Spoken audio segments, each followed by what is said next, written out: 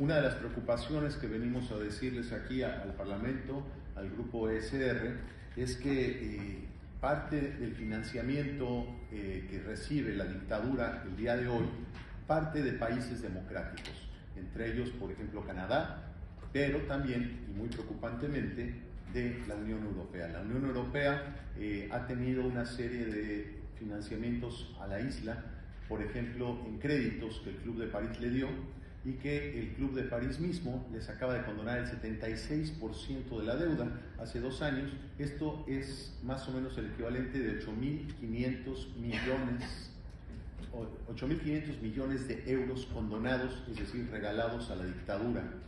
Y, eh, y, todavía en este año se les ha otorgado millones de euros en diversos programas, contraviniendo los propios lineamientos que tiene la Unión Europea frente a esto. ¿Qué hace la dictadura con este dinero?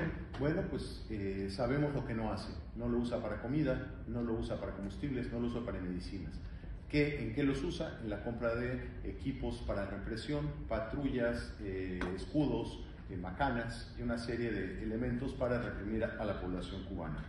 Eh, esto, nada más para concluir, se ha visto refrendado a partir de las protestas ciudadanas del 11 de julio del 2021 y producto de este movimiento social tan importante que hubo, eh, hay 1.300 presos políticos por el hecho solo de manifestarse, prácticamente el doble de los diputados que tiene este Parlamento, entre ellos 122 mujeres que están presas políticas solamente por haber salido a manifestarse el 11 de julio pasado, y también varios menores de edad que están condenados hasta 20 años de prisión por haber salido a manifestarse. Ese es el régimen que hoy, con dinero de los contribuyentes europeos, se está eh, manteniendo en el poder y está violando los derechos humanos de todos sus ciudadanos. Les agradezco mucho el, habernos escuchado y, eh, y la hospitalidad que han manifestado. Muchas gracias.